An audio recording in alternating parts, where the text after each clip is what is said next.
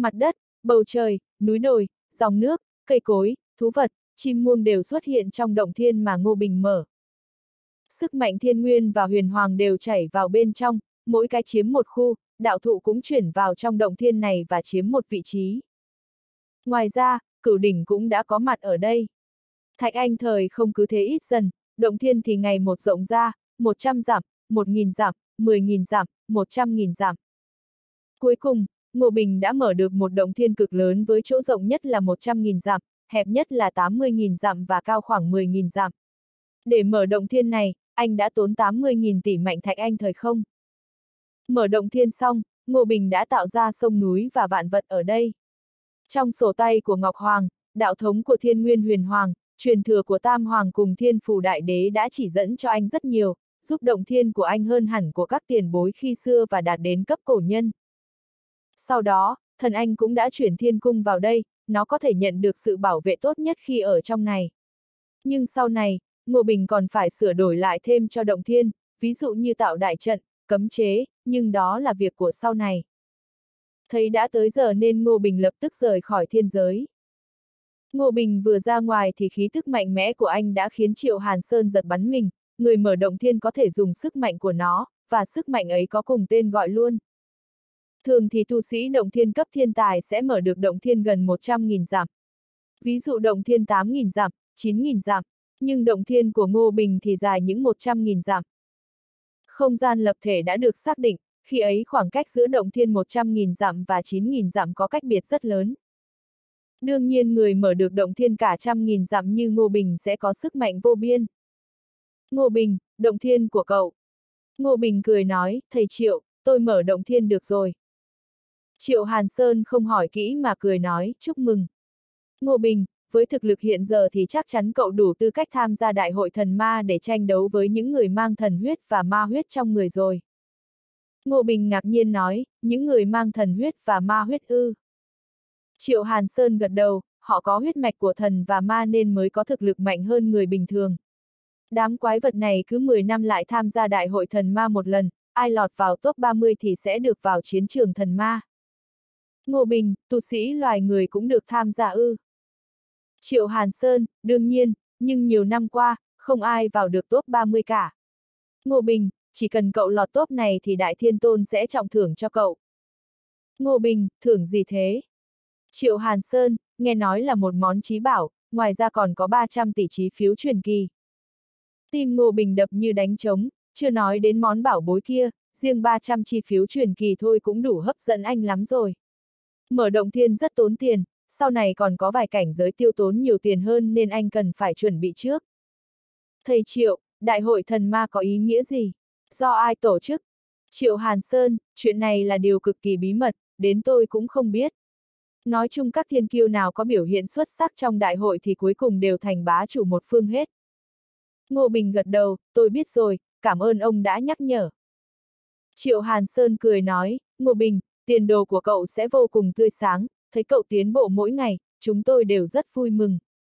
Hy vọng một ngày nào đó, cậu có thể chiếu sáng thiên không, khiến nhân tộc nhìn thấy hy vọng. Ngô Bình, tôi sẽ không khiến mọi người thất vọng đâu. Ngô Bình rời khỏi thiên đạo môn rồi về Hưng Long, chỉ còn vài ngày nữa là hôn lễ diễn ra rồi. Anh vừa mở động thiên nên mấy ngày tiếp theo chỉ ở nhà, lo chuẩn bị cho đám cưới. Ngày đầu tiên của lễ cưới, Lý Nguyên Tượng đã ra khỏi điện cực võ, đúng là kỳ tài vu đạo có khác, trình độ võ thuật hiện giờ của cậu ấy đã không kém gì Ngô Bình. Lý Nguyên Tượng không còn là tiểu hỷ bảo nữa, mà đã biến thành một chàng trai cao lớn khôi ngô. Bố, mai bố lấy vợ đấy ạ. À? Ngô Bình, ừ, hỉ bảo, bố thấy con tiến bộ rất nhanh, giờ bố sẽ truyền truyền thừa của Vu Hoàng cho con, nói rồi, Ngô Bình điểm vào mi tâm của Lý Nguyên Tượng. Trong đầu cậu ấy xuất hiện một luồng ký ức, cậu ấy ngồi xuống rồi nói, bố, giờ con phải cảm ngộ rồi. Ngô Bình, không vội, bố đã đọc khá nhiều sách, cùng tu tiên và vu đạo một lúc sẽ có hiệu quả bất ngờ, bố sẽ truyền tiếp cho con thiên địa huyền hoàng quyết, con xem mà tu luyện. Lý Nguyên Tượng tu luyện cũng rất tốn tài nguyên, nhưng giờ Ngô Bình không còn nhiều tiền nên đành để cậu ấy tu luyện trước để chuẩn bị cho sau này. Lúc này, Hỏa Hoàng Nhi bế đỉnh Nhi rồi chạy vào nói, bố, con đã học xong kiếm pháp của kiếm phái Thục Sơn rồi, bố dạy tiếp cho con cái khác đi. Ngô Bình ngạc nhiên nói, nhanh thế à? Hỏa Hoàng Nhi, nhanh gì ạ, à? con còn thấy chậm ấy. Ngô Bình chợt thấy đau đầu, có quá nhiều thiên tài bên cạnh anh, làm anh nuôi không nổi luôn nên đành nói, thế bố dạy con luyện đan nhé. Hỏa Hoàng Nhi mừng rỡ, được ạ, à? con muốn học luyện đan lâu rồi. Nói ra chắc không ai tin, nhưng bây giờ, thật lòng Ngô Bình sợ Hỏa Hoàng Nhi và Lý Nguyên Tượng tu luyện quá nhanh, vì nhớ tư chất của anh không theo kịp thì đúng là mất mặt, vì thế anh mới muốn họ tu luyện chậm lại một chút. Xem ra mình phải tranh thủ kiếm tiền thôi, Ngô Bình tự nhủ. Loáng cái đã đến ngày thành hôn của Ngô Bình, Đường Tử Di, Lý Mai, Nhậm San San đều đã mặc đồ cưới và trang điểm vô cùng xinh đẹp. Vì Ngô Bình dùng thân phận thật là Lý Huyền Bình nên chỉ có những người thật sự thân thiết hoặc các thế lực lớn của Côn Luân mới được đến tham dự lễ cưới. Vì anh là cung chủ của kiếm cung nên đương nhiên có rất nhiều thế lực muốn bày tỏ lòng thành, vì thế riêng chỉ nhận quà thôi cũng đủ mỏi tay rồi. Dẫu thế thì số người đến tham dự lễ cưới cũng rất đông, Ngô Bình đã dặn Lỗ Ngọc chuẩn bị từ trước. Đúng là đại sư về phương diện công trình có khác, ông ta đã dùng trận pháp rồi tạo thành một lễ đường lập thể rất lớn. Lễ cưới có ba tầng, tầng trong cùng dành cho khách quý, họ sẽ ngồi ở các bàn xung quanh, tầng bên ngoài thì dành cho các khách mời khá có thân phận và địa vị, chỗ ngồi của họ ở trên thuyền bay, nhờ việc lơ lửng giữa không trung nên họ cũng sẽ nhìn thấy toàn cảnh lễ cưới. Vòng ngoài cùng dành cho các khách mời lạ mặt, họ là người của các thế lực nhỏ hoặc các nhân vật nhỏ bé. Anh đã bố trí cho họ cùng ngồi trên một cái thuyền bay cỡ lớn, nếu họ muốn xem lễ cưới thì phải bay vào trung tâm. Lỗ Ngọc còn bố trí một trận pháp như mặt gương, toàn cảnh lễ cưới sẽ chiếu lên đó, như vậy thì tất cả mọi người ở Hưng Long cũng có thể xem được. Đã là lễ cưới thì đương nhiên phải có ca múa, ca sĩ và vũ công mà nữ đế Linh Hy dẫn đến đã biểu diễn hăng say. Các khách quý cũng lục đục kéo đến, tiêu thái tôn của thiên đạo môn, là thiên tướng của thiên địa kiếm tông, các tông lão của Lý Thị ở Côn Luân, đại tướng quân Chu Nguyên Thông, Đinh Mặc, phiêu miểu đạo quân và Linh Vi. Đương nhiên không thể thiếu vương vô kiên của nước Kim ưng, La Thiên Tông, Kiều Bộ Tiên và Diệp Thiên Tông. Phiêu miểu đạo quân vừa đến một lúc thì có một người đàn ông trung niên mặc đồ trắng hớn hở xuất hiện, nhìn thấy người đó, phiêu miểu đạo quân vội hành lễ, sư phụ. Người này thoạt nhìn trông rất nho nhã, nụ cười luôn nở trên môi, ông ấy quan sát Ngô Bình rồi hỏi, con là Lý Huyền Bình hả? Ngô Bình vội hành lễ, vâng ạ.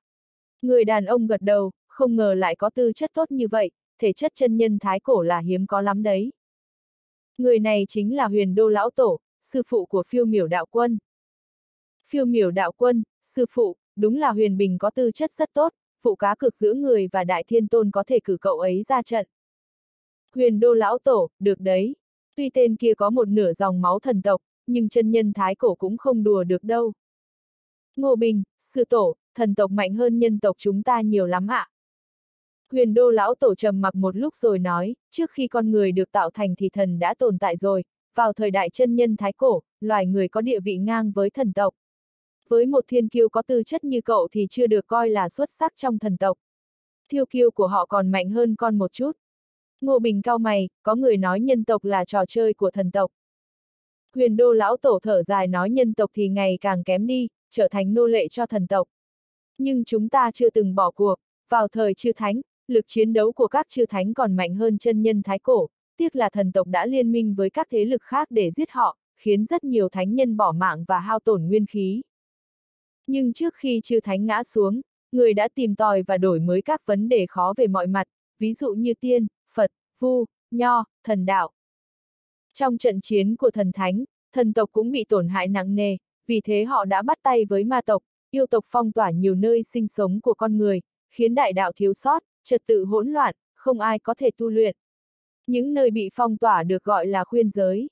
Cùng với đó, họ còn thường xuyên cử yêu binh, ma binh và thần binh đến khuyên giới để chém giết, đồng hóa để thống trị nhân tộc.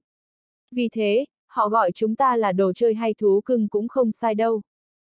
Ngô Bình ngẩn người, cảm thấy tam quan của mình bị đảo ngược, anh hỏi, thế giới mà chúng ta đang sống chính là khuyên giới ư. Huyền đô lão tổ thở dài, ừm, nhưng chúng ta vẫn còn sướng chán, vì có vài vị đại thánh đã hy sinh thân mình để lập lại trật tự. Sư tổ là cường giả trên cấp đại la, lẽ nào cũng bị nhốt trong này ư, Ngô Bình hỏi. Huyền đô lão tổ, khuyên giới này không thể nhốt chúng ta được, nhưng chúng ta cũng không thể ra ngoài, vì đại đạo có thiếu sót, nếu chúng ta rời khỏi đây thì sẽ bị mất toàn bộ tu vi và phải bắt đầu lại từ đầu. Ngô Bình ngẩn ra, mất hết tu vi ư. Huyền đô lão tổ, nói đúng hơn thì là để sống thì phải từ bỏ tu vi. Tạm thời chưa tính đến việc ai muốn từ bỏ tu vi, nhưng thế giới bên ngoài tàn khốc như thế thì một người bình thường có thể tồn tại được bao lâu? 15 phút hay 1 giờ? Ngô Bình, vì thế người mới ở lại đây, chứ không rời đi ạ. À.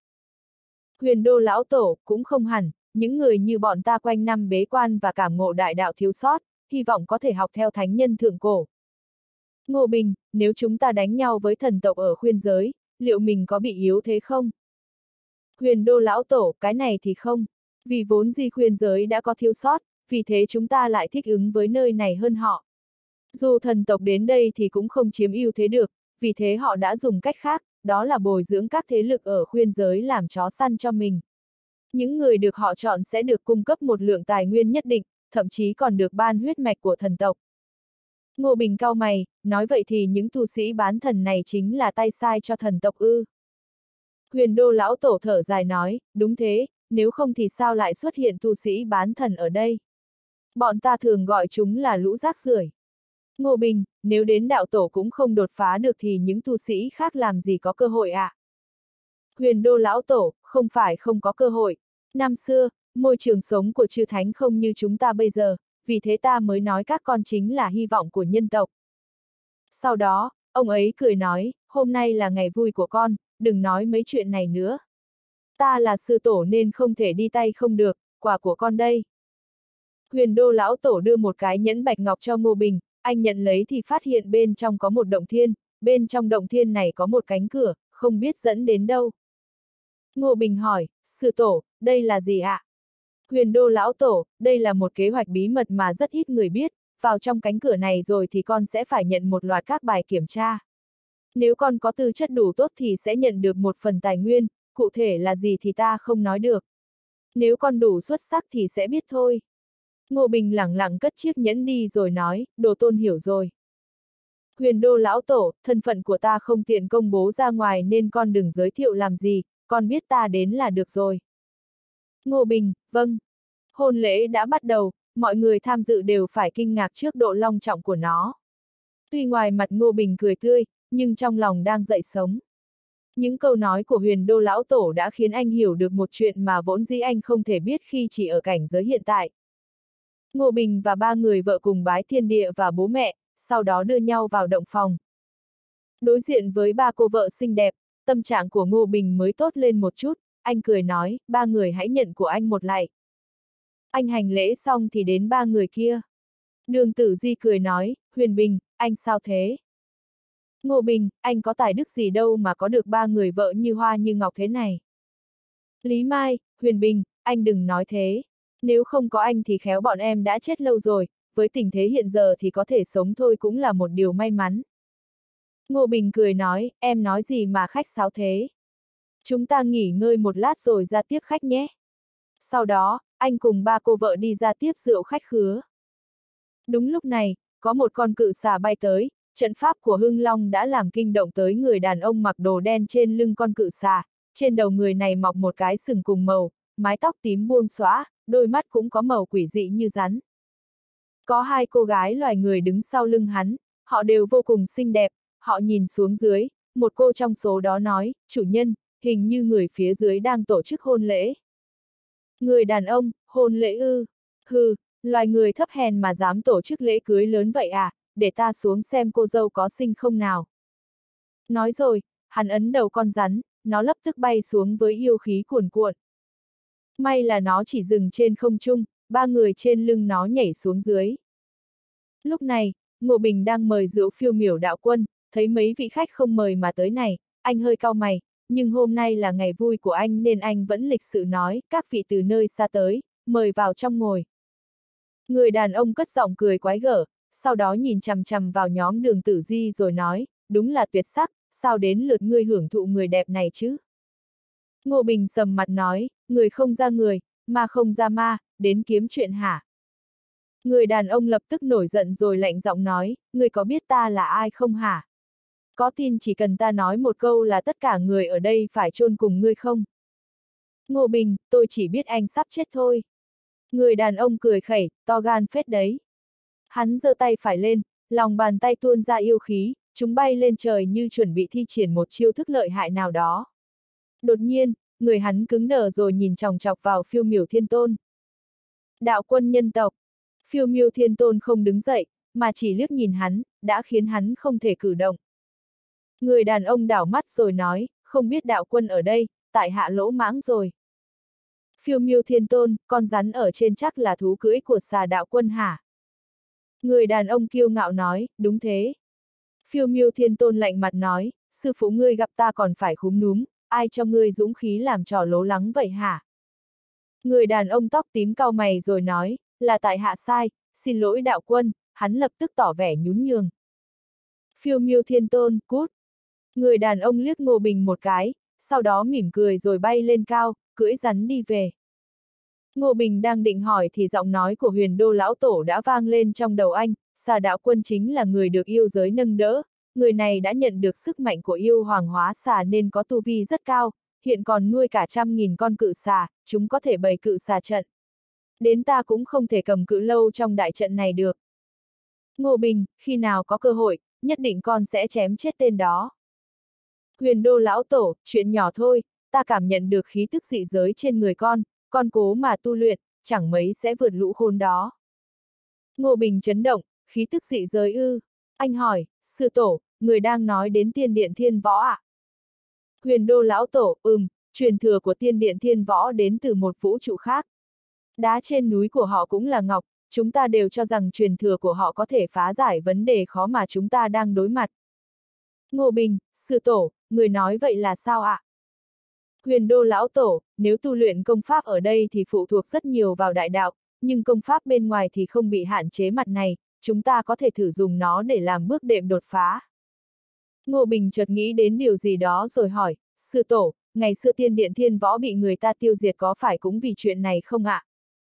Huyền đô lão tổ, ừm, bọn họ cũng phát hiện ra điều này nên không muốn có người nhận được công pháp dị giới, do đó mới tiêu diệt tiên điện thiên võ. Ngô Bình, con hiểu rồi. Buổi lễ vẫn tiếp tục, Ngô Bình tới mời rượu từng người bạn, khi anh chúc rượu hết một vòng thì trời cũng đã nhà tối. Khách khứa lần lượt ra về, với bên ngoài thì hôn lễ đã xong, nhưng thật ra ở tầng trong cùng thì lúc này tiệc mới bắt đầu. Sau đó, Ngô Bình đã tiếp đãi những người thân thiết, ví dụ như Kiều Bộ Tiên, Diệp Thiên Tông, Bạch Băng, mọi người của đường môn, kiếm phái Thục Sơn, chùa Đại Thiền và Chu Nguyên Thông. Ngô Bình uống tới bên, thành ra đến khi trời gần sáng thì bữa tiệc mới chính thức kết thúc. Sau khi khách đã về hết, anh không nghỉ ngơi mà dẫn vợ con đến kính trà cho ông bà nội và bố mẹ anh. Tiếp đó, anh nghỉ ngơi ở nhà một ngày, hôm sau mới ra ngoài, vì nhà họ đường của đường tử di cũng tổ chức hôn lễ. Sáng sớm, Ngô Bình và đường tử di đã xuất hiện ở Sơn Trang Vân Đỉnh để tổ chức một hôn lễ khác. Mọi người thân và bạn bè của nhà họ đường đều có mặt, ngoài ra còn có thái thú miêu dục, đảo chủ mãn tuyệt của Vân Trẻ Kim Long cũng đến tham dự. Yến tiệc kết thúc, Ngô Bình còn phải tham gia tiệc rượu nội bộ của đường thị, may mà anh có tử lượng cao, không thì đã gục lâu rồi.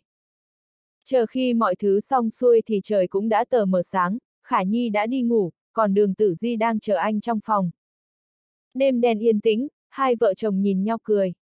Anh này, hay mình sinh thêm em trai cho Khả Nhi đi. Ngô Bình cười nói, nếu em không sợ vất vả thì anh đồng ý thôi. Cửa đóng, đèn tắt, Ngô Bình lại gieo giống trong người mỹ nhân rồi chờ ngày hái quả. Vì hai người có thời gian riêng nên Ngô Bình đã hứa với đường tử di sẽ ở lại nhà họ đường ba ngày. Sau đó, anh mới đi làm việc của mình. Vì thế, ngày hôm sau, hai người đã dẫn Khả Nhi ngồi thuyền du ngoạn trên Vân Trạch. Ngày thứ ba coi như tuần trăng mật của họ, tuy hơi ngắn ngủi. Tử di, hôm nay anh sẽ giúp em tu luyện đến cảnh giới thần hóa, Ngô Bình nói. Đường tử di, có khó lắm không anh? Ngô Bình, với anh thì không khó. Quả nhiên, hai ngày sau, Ngô Bình đã giúp đường tử di đột phá dễ dàng lên cảnh giới thần hóa. Tuy trạng thái hiện giờ của đường tử di không bằng thực lực của Ngô Bình lúc anh ở cảnh giới thần hóa, nhưng cô ấy đã mạnh hơn các thiên kiêu khác nhiều rồi. Thật ra giỏi nhất phải là Khả Nhi, cô bé đã tu luyện từ khi ở trong bụng mẹ, thêm có huyết mạch của nhân hoàng nên tuy còn nhỏ, nhưng sức mạnh đã vô biên. Khả Nhi mới đầy tháng nhưng trông đã như một em bé một tuổi, Ngô Bình và Đường Tử Di hưởng thú không gian của hai người trên thuyền, còn Khả Nhi thì nhảy xuống nước bắt cá. Lúc này, chợt có một con rồng màu đen xuất hiện ở thủy nhãn dưới đáy hồ, nó dài 100 mét, nó vừa bơi vừa há miệng ra đớp tôm cá. Đột nhiên nó phát hiện ra Khả Nhi đang chơi đùa dưới nước, nó lập tức nổi dã tâm rồi lao về phía cô bé định bắt ăn thịt. Vì nó nhìn thấy có tinh khí phóng ra từ người cô bé nên đoán cô bé là vật đại bổ. Tuy Ngô Bình ngồi trên thuyền, nhưng anh vẫn nhìn thấy rõ mọi thứ diễn ra xung quanh. Con rồng đen vừa xuất hiện, anh đã thò tay xuống nước rồi nhấc bổng Khả Nhi lên. Thấy Khả Nhi lên thuyền, con rồng tỏ vẻ hung ác rồi quẫy đuôi, định phá hỏng thuyền của Ngô Bình, sau đó ăn thịt hết người trên thuyền. Thấy nó là chân long nên Ngô Bình định tha cho nó, ai dè con rồng này không biết điều nên anh nổi giận nói, đáng chết. Anh vung tay lên, ba nghìn đường kiếm xuất hiện rồi chém vảy của con rồng nổ tung. Con rồng đau đớn rồi vội bơi về phía thủy nhãn, vừa bơi nó vừa gào lên, người dám đánh người của Long Cung, tất cả mọi người ở đây đều phải chết chung. Nghe thấy thế, Ngô Bình cười khẩy nói, thứ chết tiệt. Mày tính chạy thoát nổi không? Anh cất bước rồi nhảy xuống đầu nó, sau đó tung ba cú đấm. Cái đầu rồng nát bét, nó van nài, thượng tiên tha mạng. Nhưng Ngô Bình vẫn không nương tay, anh dùng một kiếm kết liễu nó rồi ném xác vào trong động thiên của mình. Thịt rồng thì ngon phải biết rồi. Trước kia, anh đã từng ăn thịt rồng, nhưng lần này thì khác, vì con này là rồng mới bị giết, thịt vẫn còn tươi. Anh nhanh chóng xử lý thịt của nó, sau đó quay lại thuyền nấu cho đường tử di và khả nhi ăn. Các linh dược nấu cùng thịt rồng tỏa ra một mùi thơm hấp dẫn, khả nhi chảy nước miếng rồi ăn nhồm nhòm. Sau khi vào bụng, thịt rồng đã biến thành tinh khí rồi chảy khắp cơ thể. Ngô Bình ăn nửa nồi thịt, sau đó anh còn rút gân rồng ra làm thuốc dùng khi luyện đan. Nhưng cái hay nhất là đầu rồng, nó hệt như thạch anh, anh dành riêng cho Khả Nhi và đường tử di ăn. Ăn xong, anh đi xuống thủy nhãn rồi nói, thủy nhãn này nối liền với Đông Hải nên rất nguy hiểm. Nói rồi, anh phóng một đường kiếm vào đó, một tiếng động lớn vang lên, thủy nhãn vỡ tan, sau đó biến mất. Phá thủy nhãn xong, Ngô Bình dẫn vợ con về nhà họ đường, sau đó tạm biệt nhà vợ. Ngày mai, anh còn phải đến Hải Thành, vì nhà nhậm san san cũng tổ chức hôn lễ. Sau khi đến Hải Thành, anh mới phát hiện nơi này đã thay đổi rất nhiều, chợ dược liệu và trung tâm mua bán đan dược đã chính thức đi vào hoạt động, có rất nhiều tu sĩ đến đây làm ăn. Ngô Bình đã chuẩn bị trước cho nhà họ nhậm mua nhiều cửa hàng, quả nhiên sau khi chợ hoạt động, giá của cửa hàng đã tăng vọt. Hỗn lễ của Ngô Bình và nhậm san san rất đơn giản, họ chỉ mời bạn bè và người thân thiết, hơn nữa không thông báo rầm rộ, Ngô Bình chỉ mời thêm đúng thái thú thu vô dạ. Hôn lễ tổ chức ở một khách sạn của Hải Thành, trước đó nhà họ nhậm cũng đã mua lại nhiều khách sạn, và đây cũng là một trong số các khách sạn của nhà họ. Tiệc vừa bắt đầu thì cửa lớn chợt bị một luồng khí mở ra, các mảnh thủy tinh vỡ bay tung tóe khiến nhiều quan khách bị thương. Nhậm Thiên Thắng giật mình, không hiểu xảy ra chuyện gì. Sau đó, có mười mấy thi thể bị người ta ném vào trong, thấy thế, Nhậm Thiên Thắng biến sắc mặt, vì đây đều là người ông ấy cử đi thu tiền thuê cửa hàng. Thì ra, sau khi mua được nhiều cửa hàng, Nhậm Thiên Thắng đã cho thuê một phần. Người thuê hầu hết đều là tu sĩ nên khó tránh khỏi việc quyệt nợ. Nhưng sau này họ biết Nhậm Thiên Thắng được thái thú chống lưng nên đều ngoan ngoãn trả tiền, song vẫn có vài người không coi thái thú ra gì và quyết chiếm cửa hàng làm của riêng. Hôm nay, Nhậm Thiên Thắng cho người đi thu tiền như mọi khi, ai dè họ lại bị đánh chết, sau đó thi thể còn bị ném vào lễ đường. Nhậm Thiên Thắng cau mày nói, ức hiếp người quá đáng. Sau khi hỏi rõ sự tình, Ngô Bình đã đi ra ngoài. Lúc này, có hơn chục người đang đứng ở ngoài cổng khách sạn, tu vi thấp nhất trong số họ cũng là cảnh giới địa tiên linh biến, ai nấy đều đằng đằng sát khí. Trong số đó có một người đàn ông trung niên có tu vi cao nhất cảnh giới địa tiên bất tử, ông ta liếc nhìn Ngô Bình rồi cười khẩy nói, nhà ông chủ nhậm đang tổ chức tiệc cưới đúng không? Cô dâu đâu, mang ra đây cho ông chơi đùa tí nào. Phụt! Ông ta vừa nới dứt câu thì lưỡi đã nổ tung, máu tươi ứa ra, răng rụng lả tả, gương mặt đã bị thương nặng, cơn đau làm ông ta kêu gào thảm thiết. Ngô Bình bước tới gần rồi sách cổ ông ta nhấc bổng lên cao, sau đó lạnh giọng nói, tôi là chú rể đây, dám ăn nói sằng bậy về cô dâu trước mặt tôi như vậy, ông muốn chết thế nào? Người đàn ông hoang sợ, đang định nói gì đó, nhưng không còn lưỡi nữa rồi nên không biết phải làm sao. Ngô Bình, nếu không nói được thì để tôi chọn thay cho nhé. Anh lấy lò luyện minh thần ra rồi ném người đó vào trong, một loáng sau, đã có rất nhiều sinh mệnh đan bay ra, sau đó Ngô Bình đã chia chúng cho các quan khách bị thương. Những tên còn lại thấy thế thì sợ tới mức đứng không vững, lập tức quay đầu bỏ chạy. Đứng lại, Ngô Bình thờ ơ nói, sau đó đám người kia đã dừng bước ngay, họ không thể điều khiển cơ thể của mình được nữa nên muốn chạy cũng không được, ai nấy đều vô cùng hoảng loạn. Ngô Bình kéo một tên ở cảnh giới địa tiên động thiên lại rồi hỏi, các người là đồng bọn hả? Tên đó run cầm cập đáp vâng, chúng tôi là người của bang ngạo gia. Ngô Bình, bang ngạo gia, một lũ vớ vẩn mà dám lấy tên như thế à, mau dẫn tôi đến gặp bang chủ. Người kia bật khóc nói, bang chủ của chúng tôi mới bị cậu luyện thành đan dược xong. Ngô Bình ngẩn ra, đó là bang chủ ư. Người kia gật đầu, vâng. Sau đó, Ngô Bình hỏi các quan khách ở đây, mọi người có ai biết bang ngạo ra không? Thấy Ngô Bình có thực lực mạnh nên mọi người không còn sợ nữa, cứ thế kể hết mọi tội lỗi của bang này. Bang ngạo gia vô cùng độc ác, chuyên làm chuyện xấu hại người. Đã có rất nhiều các cô gái nhà lành bị họ xâm hại, ngoài ra còn có nhiều người dân vô tội bị họ giết chết, nhưng vì sợ nên không ai dám nói gì.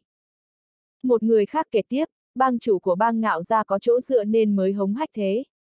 Nghe nói một người anh em của ông ta có tu vi rất cao, là đệ tử của môn pháo lớn, giờ còn đang làm đề đốc. Nghe xong, Ngô Bình vung tay, cho hết đám người còn lại của bang ngạo ra vào lò luyện đan. Cuối cùng, anh chỉ dẫn theo đúng một tên còn sống quay lại bang phái này để tiêu diệt nốt các thành phần độc hại còn lại. Bang này toàn làm chuyện xấu nên đương nhiên anh phải nhổ tận gốc. Nơi có người sinh sống thì sẽ có giang hồ, Hải Thành ngày càng phồn vinh nên cách bang phái cũng xuất hiện ồ ạt, ngạo gia cũng là một trong số đó. Bang này nằm ở một công trường bỏ hoang, công trường này có diện tích lớn nên có thể chứa được cả mấy chục nghìn thành viên của bang phái. Khi thấy số lượng thành viên đông đảo của bang này, Ngô Bình cũng hơi giật mình.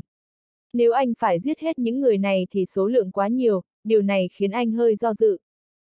Anh suy nghĩ một lát rồi ném người dẫn đường xuống đất, sau đó thi triển bí pháp, thay đổi tính cách của họ. Tất cả những người ở đây đều vô cùng tàn nhẫn, nhưng anh sẽ thay đổi tính cách để biến họ thành những người lương thiện, hơn nữa còn chỉ nghĩ cho người khác mà quên thân mình.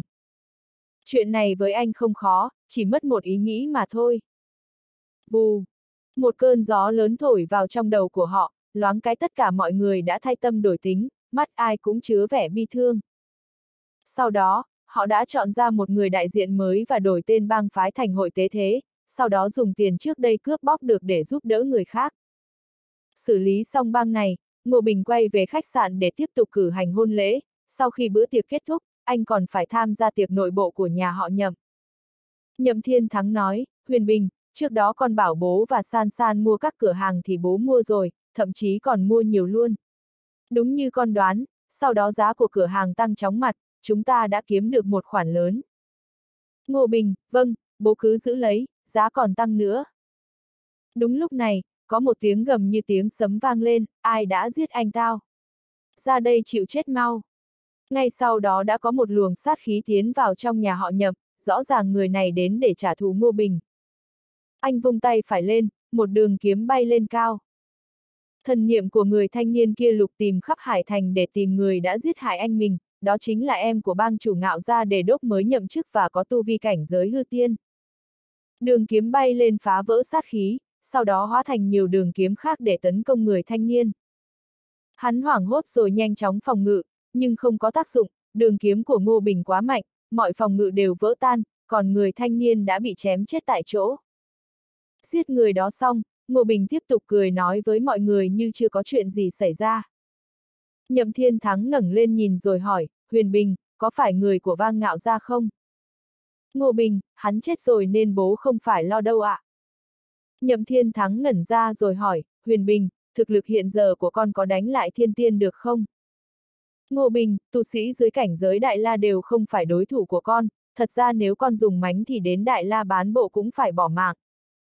Nhậm Thiên Thắng chấn động, ông ấy biết Ngô Bình mạnh, nhưng không ngờ anh lại mạnh đến mức này. Đột nhiên, Đỉnh Nhi bò lên vai Ngô Bình, sau đó cưỡi lên cổ anh. Ngô Bình cười nói, Đỉnh Nhi, bố cho con bay đi chơi nhé. Nói rồi, anh cho đỉnh nhi bay lên cao để ngắm toàn cảnh hải thành. Anh có thể thấy quanh hải thành đã mọc thêm nhiều đảo. Đỉnh nhi hào hứng nhảy nhót trên vai anh. Đột nhiên có một tia độn quang bay từ phía tây tới với tốc độ rất nhanh, tác dụng của nó là phá vỡ không gian, sau đó hình thành một con đường gần như không có gì cản trở, vì thế nó cũng có khả năng tấn công người khác. Người bắn ra tia độn quang ấy hoàn toàn phớt lờ sự tồn tại của Ngô Bình và Đỉnh Nhi, cứ thế phóng nó đi tiếp. Nếu không phải Ngô Bình phản ứng nhanh nhạy thì cả hai bố con đã dính đòn rồi. Tia độn quang ấy bay đi xa, theo sau là ba tu sĩ, hai nam một nữ, họ vừa bay vừa cười nói, không thèm nhìn Ngô Bình đến một cái. Thấy họ sắp đi xa, Ngô Bình cười khẩy rồi cũng bắn một tia độn quang ra đuổi theo. Anh dùng tia sét nên có lực sát thương hơn, đến kim loại va phải cũng biến thành sắt vụn. Uỳnh! Một tiếng sấm vang lên, tia sét đuổi theo ba người kia, sau đó đánh bay họ. Tia sét làm kích hoạt lá bùa hộ thân của một người, nó lóe sáng rồi bảo vệ họ đáp xuống an toàn. Ba người kia vừa tức vừa ngạc nhiên, định lên tiếng chửi bới nhưng tia sét của Ngô Bình đã biến mất rồi. Ai thế nhỉ? Một người đàn ông mặc áo bảo lam tức giận nói, hắn vừa phí mất một lá bùa hộ thân cấp đại la nên giờ đang tiếc đứt ruột. Hai người còn lại đều sợ tái mặt, cô gái duy nhất run rẩy nói, nhanh quá làm tôi cũng không nhìn rõ mặt. Người đàn ông khác ngẫm nghĩ rồi nói, ban nãy, độn quang của chúng ta suýt nữa đã va phải hai người, lẽ nào là họ trả thù. Người đàn ông mặc áo bảo màu lam nổi giận nói, to gan thật. Nếu để tôi đuổi được thì tôi sẽ cho hắn sống không bằng chết. Hắn vừa nói dứt câu thì có một tia chớp lóe lên, Ngô Bình bế đỉnh nhi xuất hiện trước mặt họ, anh nói kinh, cho tôi sống không bằng chết cơ à. Thử đi xem nào. Người đàn ông áo lam giật bắn mình, rõ đang há miệng mà không nói được gì. Hắn không ngu, chỉ nhìn độn quang của Ngô Bình thôi cũng đủ biết anh mạnh thế nào rồi. Hắn vứt hết liêm sỉ sang một bên rồi nói, anh bạn, ban nãy là chúng tôi sai, không kịp thu độn quang lại, xin lỗi nhé. Ngô Bình tỉnh bơ nói, nếu tôi mà không né kịp thì giờ cả hai bố con đã bị thương rồi. Tên kia, chúng tôi vô tình thôi, xin thứ tội. Ngô Bình, nhưng anh vừa kêu sẽ cho tôi sống không bằng chết cơ mà. Giờ sao lại xin lỗi thế? Người đàn ông, tại miệng nhanh hơn não thôi, chứ tôi nào dám. Ngô Bình cười khẩy, tôi định dùng đồn quang giết các người rồi, không ngờ lại có bùa hộ thân cấp đại la xuất hiện. Nói đi, các người là ai? Người đàn ông mặc áo bào màu lam, chúng tôi là đệ tử của Hoàng Cực Tông, đang trên đường đến thăm Hoàng đế nước Long để tặng bảo vật. Ngô Bình chưa nghe đến Hoàng Cực Tông bao giờ nên nói, các người định tặng gì, lấy ra đây cho tôi xem. Mấy người kia ngơ ngác nhìn nhau, tên áo lam nói, có hai đệ tử của Hoàng Cực Tông vừa gia nhập thần thổ thông thiên nên anh đừng quá đáng như thế. Chát! Ngô Bình tát bay tên đó, đầu hắn ngẹo sang một bên rồi kêu gào trong đau đớn. Ban nãy, các người định giết bố con tôi mà không phải là quá đáng à. Hai người còn lại sợ đến mức bất động, khí thế bức người của Ngô Bình khiến họ thậm chí không dám nghĩ đến việc phản kháng. Tên áo lam lấy một cái nhẫn chữ đồ ra rồi đưa cho Ngô Bình, ở đây. Anh cầm lấy chiếc nhẫn thì thấy bên trong có một cái đỉnh, chính là một trong cửu đỉnh. Ngô Bình tịch thu luôn cái nhẫn rồi nói, đây coi như thứ các người bồi thường cho bố con tôi, anh vừa nói dứt câu thì có một tia chớp lóe lên, hai bố con đã biến mất. Mấy người kia khóc không ra nước mắt, mất đỉnh rồi thì họ biết ăn nói thế nào với Hoàng Cực Tông đây. Ngô Bình quay về nhà họ nhậm rồi lấy cái đỉnh ra bỏ vào trong động thiên của mình. Vậy là anh đã có 5 trong 9 cái đỉnh rồi. Mấy ngày sau đó, Ngô Bình dẫn vợ con đi chơi khắp nơi. Thời gian vui vẻ trôi qua rất nhanh, loáng cái đã sắp tới ngày diễn ra đại hội đan kiếm ở kiếm cung Côn Luân rồi, Ngô Bình là cung chủ nên đương nhiên phải có mặt. Nhậm san san muốn ở lại nhà bố mẹ mấy hôm, có tiểu hoàng long bảo vệ cô ấy nên Ngô Bình cũng yên tâm phần nào. Ngô Bình vừa về kiếm cung thì đã thấy mọi thứ được bày biện xong xuôi, đại hội đan kiếm sẽ diễn ra vào ngày mai. Anh đi gặp phiêu miểu thiên tôn trước, bà ấy cười nói, Huyền Bình, con không ở nhà cùng vợ con à? Không sợ họ giận sao? Ngô Bình, đại hội đan kiếm rất quan trọng, đệ tử không thể vắng mặt được. Phiêu miểu thiên tôn, ngày mai, con phải so tài kiếm thuật với kỳ tài của mọi nơi, con cần học một chút kiếm thuật của Thái Thanh Kiếm Tông đi. Ngô Bình, đệ tử đã học kiếm đạo phiêu miểu rồi, tu luyện kiếm thuật không khó, lát đệ tử luyện qua là xong. Phiêu miểu thiên tôn, ừm, ta nhận được tin kiếm phái đại hoang và đại thế giới kiếm đạo đều cử người tới, mục đích là lấy được tam trùng long môn đan, ngoài ra còn áp chế thái thanh kiếm tông chúng ta nữa. Ngô Bình cười lạnh, kệ cho họ đến, ai tới con sẽ đánh kẻ đó. Linh Vi đi tới nói, sư đệ, chúng ta mới thu nhận một thiên kiêu chuẩn bị đột phá cảnh giới long môn, sư tỷ đang muốn xin cậu một viên tam trùng long môn đan cho cô ấy uống. Ngô Bình cười nói, sư tỷ cần dùng thì cứ lấy ạ. À. Linh Vi vui mừng rồi nói với ra bên ngoài, Ngọc Hoa, mau vào đây cảm ơn sư thúc. Một cô gái gầy gò có dung nhan bình thường đi vào, tuy cô ấy không xinh, nhưng đôi mắt rất có hồn, khí chất tỏa ra cũng đặc biệt. Ngọc Hoa tham kiến sư thúc, cô gái hành lễ với Ngô Bình. Ngô Bình cười nói, đứng dậy đi. Anh quan sát cô gái rồi nói với Linh Vi, sư tỷ tinh mắt thật đấy, tư chất của Ngọc Hoa hơn các thiên kiêu bình thường nhiều. Linh Vi, ừm, con bé mới ra đời đã bị trời ganh ghét, nếu ta không ra tay kịp thời thì nó không sống được đến nay đâu. Ngô Bình, sư tỷ đã thay đổi dung mạo cho cô ấy ạ. À? Linh Vi gật đầu, hết cách, chỉ làm vậy thì nó mới yên ổn được, chứ nó sinh quá làm trời ghen. Ngô Bình, đây là số mệnh rồi, sư tỷ làm thế cũng không thay đổi được gì đâu. Linh Vi, sư đệ có cách gì giúp cô ấy không? Ngô Bình, em biết đại mệnh vận thuật, có thể thay đổi vận mệnh cho cô ấy. Nếu cô ấy đồng ý thì em sẽ khôi phục lại diện mạo vốn có cho cô ấy rồi thay đổi vận mệnh. Linh Vi tỏ vẻ kinh ngạc, vì đến cô ấy cũng không thể thay đổi số phận cho người khác được. Phiêu miểu thiên tôn, với con gái thì xinh đẹp vẫn hay hơn, Huyền Bình mau thử đi. Ngô Bình gật đầu rồi thi triển đại mệnh vận thuật để tách lấy vận mệnh hiện tại của cô ấy, sau đó thế vận mệnh mà anh từng lấy trước kia vào. Ngay sau đó, số mệnh của Ngọc Hoa đã được thay đổi, cả dung nhan và vóc dáng của cô ấy đều trở lại nguyên dạng. Ngọc Hoa đã biến thành một cô gái xinh đẹp tuyệt trần, không thua bất kỳ mỹ nhân nào mà Ngô Bình từng gặp trước đây. Cô ấy soi gương rồi vui mừng cảm ơn Ngô Bình, cảm ơn sư thúc. Linh Vi gật đầu, sư đệ thật tài giỏi, bái phục. Phiêu miểu thiên tôn, huyền bình, con không nên dùng thuật này nhiều, với tu vi hiện tại, con chưa thể thi triển hết nó đâu. Ngô Bình, sư tôn, con ít khi dùng lắm ạ. À.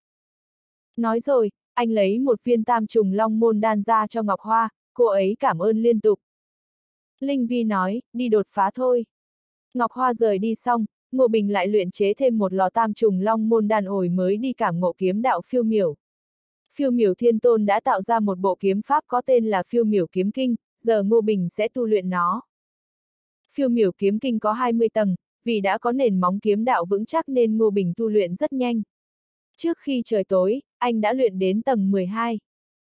Đêm đến, Ngô Bình đi tìm Linh Vi, sư tỷ, ngày mai em phải đấu với người ta rồi nên giờ muốn nhờ sư tỷ luyện kiếm cùng. Linh Vi cười nói, được, cậu luyện đến tầng mấy rồi? Ngô Bình, 12 ạ. À. Linh Vi, chị đã luyện đến tầng 18 rồi, cậu đấu với chị e là sẽ bị ăn đòn đấy. Ngô Bình, sư tỷ mặc dù là bán bộ đại la nhưng tôi cũng không kém đâu. Hai người họ cùng bay lên không trung, mỗi người bắn ra một đạo kiếm quang, bắt đầu giao đấu. Kiếm quang của Ngô Bình cơ bản vẫn có nền tảng là thiên cực kiếm kinh nên uy lực kinh người. Lực sát thương của kiếm quang rất đáng sợ. Kiếm quang này kết hợp với phiêu miểu kiếm kinh nên uy lực càng mạnh. Chỉ thấy hai đạo kiếm quang bay tới bay lui, bất phân thắng bại. Phiêu miểu thiên tôn ngồi trong điện quan sát, bên cạnh là lão tổ huyền đô. Lão tổ vẫn chưa rời khỏi đó, chỉ là ngoài phiêu miểu thiên tôn ra thì không ai nhìn thấy ông ấy. Sư tôn, sức mạnh của huyền bình đã không thua kém gì linh vi nữa rồi. Lĩnh ngộ của nó về kiếm đạo thậm chí còn hơn cả linh vi. Lão tổ huyền đô, linh vi vẫn chưa dùng hết sức, nếu không chỉ e cậu nhóc này đã bị thương rồi. Có điều cậu ấy cũng rất giỏi, mới ở cảnh giới động tàng mà đã như vậy. Đợi đến đi lên đến cảnh giới bất tử thì e là linh vi không phải đối thủ. Phiêu miểu thiên tôn, không hổ là thể chất của thái cổ chân nhân, mới là địa tiên thôi mà đã đáng gờm như vậy rồi. Đến khi trở thành tiên tôn thì có khi còn giết được cả thần ấy chứ. Lão tổ huyền đô, nói chuyện đó vẫn còn hơi sớm. Giờ con hãy giúp cậu ấy nhanh chóng vào ẩn môn, hy vọng cậu ấy sẽ không khiến hai ta thất vọng. Phiêu miểu thiên tôn, sư tôn, ban đầu khi con ở giai đoạn 3 là đã bị đào thải rồi, không biết huyền bình có thể trụ được đến giai đoạn mấy. Hoặc biết đâu, nó có thể đi đến cuối cùng. Lão tổ huyền đô, phải thuận theo ý trời thôi. Hai tỷ đệ Ngô Bình giao đấu hàng trăm hiệp, Ngô Bình càng lúc càng thành thục kỹ thuật của phiêu miểu kiếm kinh, sau cùng bắt đầu dần dần đàn áp được kiếm quang của Linh Vi. Đến hiệp thứ 1000, kiếm quang mới tách nhau ra, hai người họ đáp xuống đất. Ngô Bình, sư tỷ, chị chưa dùng toàn lực, nếu không tôi đã thua từ lâu rồi. Linh Vi, luyện kiếm chứ đâu phải đánh nhau với cậu, không cần phải dùng tới toàn lực. Trời đã tối dần, Ngô Bình tối đó không ở lại kiếm cung mà quay về nhà. Ba cô vợ, lại còn Lý Mai cần anh chăm sóc. Đêm nay anh thuộc về Lý Mai. Một đêm yên bình trôi qua. Sáng sớm hôm sau, Ngô Bình quay lại Côn Luân kiếm cung. Dần dần, khách đến kiếm cung tham dự đại hội đan kiếm ngày một nhiều. Những ngày gần đây, Côn Luân kiếm cung nổi danh khắp nơi, mọi người đều đồn ầm lên rằng lão tổ huyền đô có một viên tam trùng long môn đan sẽ tặng cho thiên tài kiếm đạo. Tin tức này lan ra, thiên hạ chấn động, vô số tu sĩ kiếm đạo ùn ùn kéo đến. Bọn họ đều muốn giành được viên đan. Ngô Bình và phiêu miểu thiên tôn đứng trong điện đón khách, có nhiều thế lực thậm chí Ngô Bình còn chưa từng nghe qua. Bọn họ có người đến từ đại lục hồng hoang, có người đến từ tiên giới, có người từ côn luân. Lúc này, một tu sĩ kiếm đạo mặc áo trắng xuất hiện. Bên cạnh người này có một cậu thiếu niên dáng đứng rất thẳng. Cậu thiếu niên này có thể ví như một cây kiếm, vô cùng sắc sảo.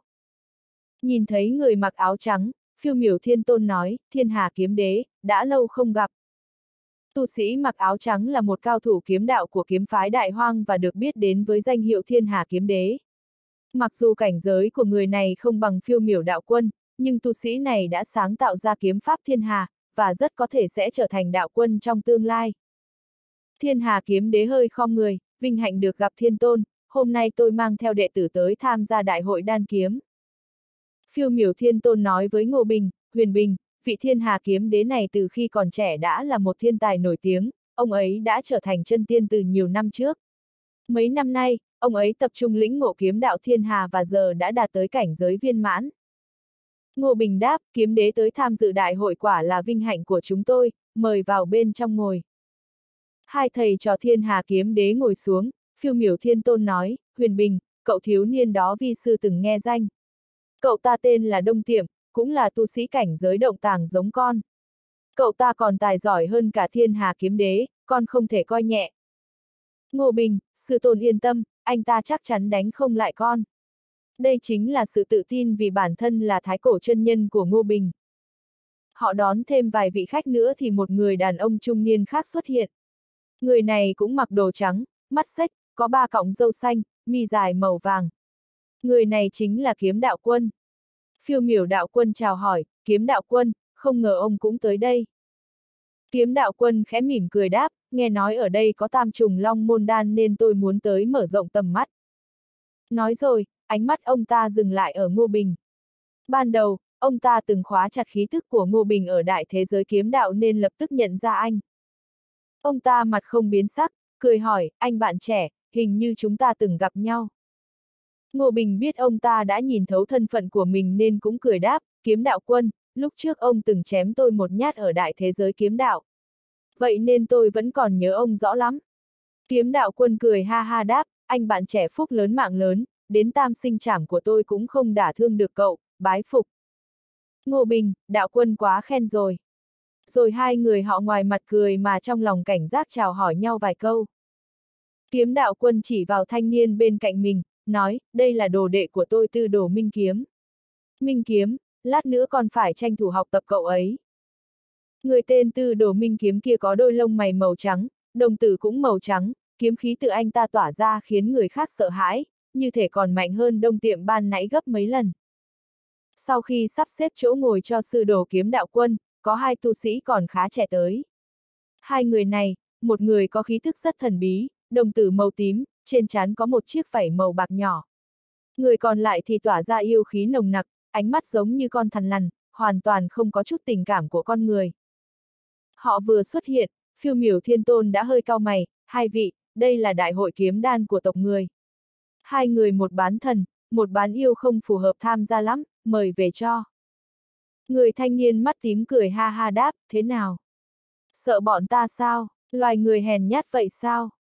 Ngô Bình cũng cau mày, trong lòng rất khó chịu. Sư tôn anh là đạo quân mà hai kẻ này lại không có chút tôn trọng nào. Nhưng sau đó, anh như thể nghĩ ra chuyện gì khác, quan sát hai người kia một lượt rồi lạnh lùng nói, người tới đều là khách, mời vào. Nói rồi anh sai người dẫn bán thần và bán yêu này vào bên trong.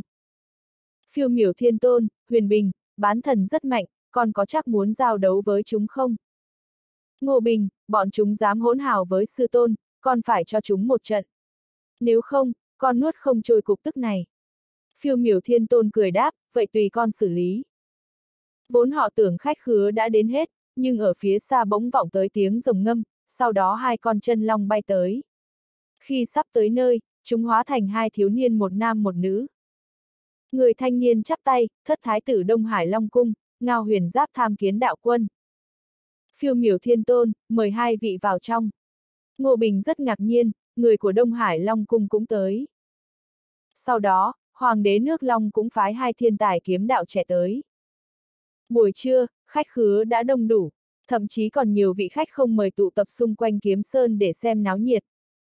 Thú vị đây, kiếm phái đại hoang, thế giới kiếm đạo, Thái Thanh Kiếm Tông, Đông Hải Long Cung, bán thần và bán yêu. Tất cả những thế lực trong truyền thuyết đều tới đây rồi. Không biết bọn họ có giao đấu không nhỉ? Côn Luân Kiếm Cung phải giành được tam trùng long môn đan mới được. Chúng ta phải tranh đấu với đám người kia, phải để họ thừa nhận địa vị của Côn Luân Kiếm Cung. Lý Huyền Bình đó có đánh lại được nhiều thiên tài thế này không? Có trời mới biết được, nhưng dù thế nào đi nữa thì quá trình chắc chắn sẽ rất đặc sắc. Thật đáng tiếc là chúng ta không được xem trực tiếp, chỉ có thể ở ngoài hóng hớt.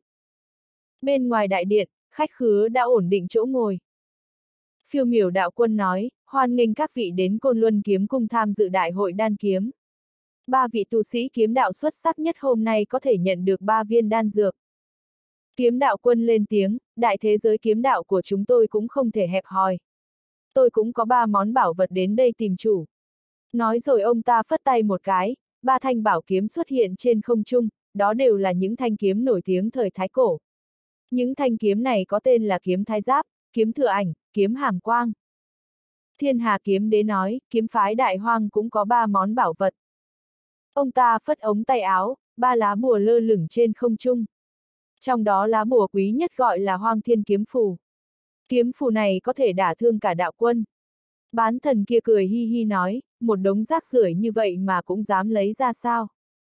Nói rồi, hắn ném ra một viên thần đan, kiêu ngạo nói, đây là lôi điện thần đan, uống nó vào là sẽ có được truyền thừa từ huyết mạch của thần lôi điện. Ai đánh thắng được tôi thì viên đan này thuộc về người đó. Một tu sĩ trẻ cũng đem ra ba món bảo vật do Hoàng đế nước Long chuẩn bị. Ba món bảo vật lần lượt là một viên đan dược, một bộ công pháp, một món pháp bảo. Người giỏi nhất sẽ giành được món pháp bảo kia. Những thế lực khác cũng thi nhau đưa ra các món bảo bối cho mọi người xem. Còn một số thế lực nhỏ thì hoặc không mang bảo vật tới hoặc ngại ngùng không dám lấy ra. Chẳng mấy chốc, hàng trăm bảo vật đã lơ lửng giữa không trung của chính điện, tỏa sáng rực rỡ khắp nơi. Điều này nằm ngoài dự đoán của Ngô Bình, nhưng anh vẫn rất vui, bởi vì thứ tốt nhất chắc chắn sẽ thuộc về anh. Kiếm đạo quân, phiêu miểu thiên tôn, những hậu bối này nên thi đấu như thế nào? Phiêu miểu đạo quân, nếu đều là tu sĩ kiếm đạo thì đương nhiên là đấu kiếm. Thiên hà kiếm đế, ở đây có mấy trăm anh hùng trẻ tuổi, nếu tất cả đều phải so tài thì thật lãng phí thời gian của mọi người. Tôi có một con rối kiếm tông ở đây, nó rất lợi hại. Ai có thể thắng được con rối sẽ có thể tham gia vào cuộc thi tiếp theo. Mọi người đều đồng thuận, dù sao nếu ngay cả con rối kiếm tông cũng không đấu lại được, về sau nhất định cũng không thể lọt vào top 3 nên không cần thi đấu tiếp làm gì. Phiêu miểu thiên tôn, huyền bình, con là đại diện của côn luân kiếm cung, con sẽ đánh trận đầu tiên. Thiên hà kiếm đế tay phải làm ra một thủ ấn, trên quảng trường bên ngoài đại điện, một tia kiếm quang rơi xuống, hóa thành con rối kiếm tông. Kiếm tông tức là tông sư kiếm đạo, sức chiến đấu đương nhiên không yếu. Có thể đánh với tông sư thì cũng phải là tông sư, hoặc là mạnh hơn cả tông sư. Ngô Bình chắp tay hướng về phía mọi người, vậy tôi xin đánh trận đầu. Có điều, nếu ra tay nặng, lỡ có đánh hỏng con rối thì xin thiên hà kiếm đế đừng trách tội. Thiên hà kiếm đế khẽ mỉm cười, không cần lo lắng, con rối này có ba cảnh giới, chính là cảnh giới kiếm tông, cảnh giới kiếm vương và cảnh giới kiếm hoàng. Hiện giờ, nó đang ở cảnh giới kiếm tông nhưng thực ra có thể thăng cấp tối đa tới cảnh giới kiếm hoàng. Nếu như cậu đủ mạnh, có thể ép nó thăng lên cảnh giới kiếm vương, thậm chí là cảnh giới kiếm hoàng. Ngô Bình cười đáp, vậy thì tốt.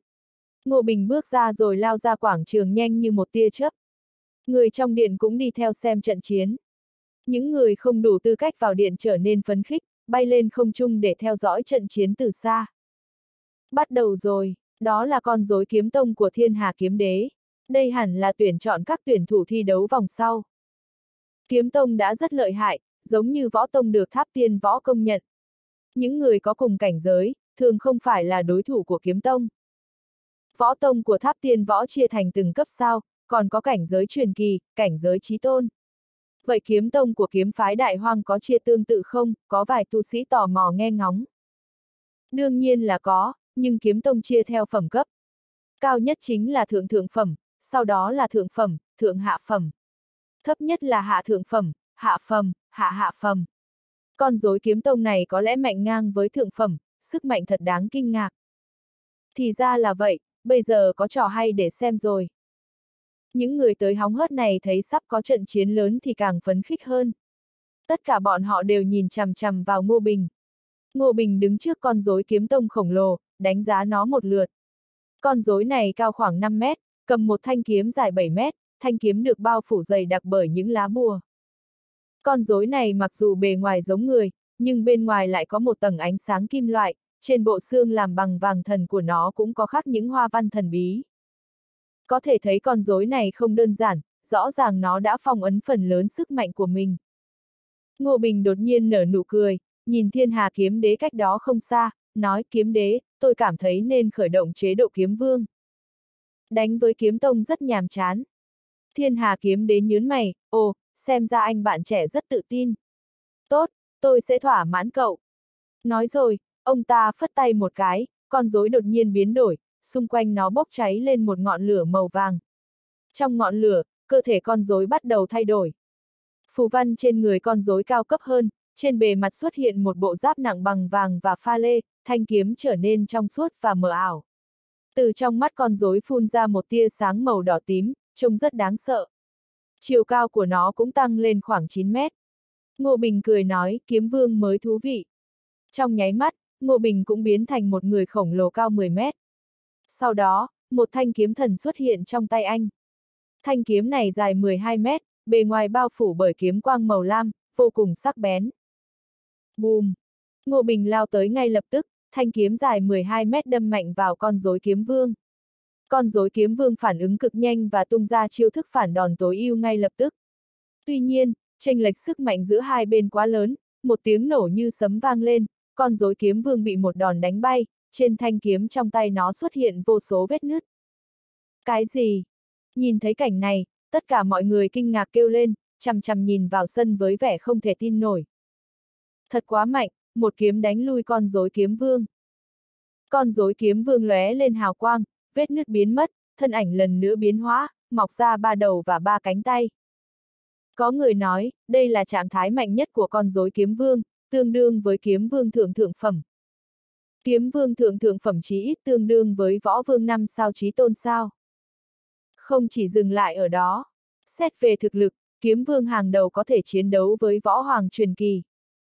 Ngô Bình vừa rồi không cố hết sức, kiếm ban nãy chẳng qua là để thử thực lực của con rối kiếm vương xem nó mạnh bao nhiêu. Thấy nó bị đánh lui, anh cười nói, con rối kiếm vương cũng chỉ đến vậy thôi. Dứt lời, anh thi triển tuyệt chiêu phiêu miểu kiếm kinh, kiếm ảnh ngập trời. Ngay lập tức, những bóng kiếm khắp bầu trời lao thẳng về phía con rối kiếm vương. Trên thực tế, thức này của anh giống với kiếm ảnh trong thiên cực kiếm kinh tầng thứ 10. Anh khuếch đại kiếm ảnh, lập tức tăng uy lực của thức này lên gấp 10 lần. Trên bầu trời, xuất hiện 3.000 kiếm ảnh, mỗi cái đều giống như kiếm ảnh thực sự, có lực sát thương thật. Thế nhưng, kiếm ảnh chết người thực sự lại ẩn giấu trong đó.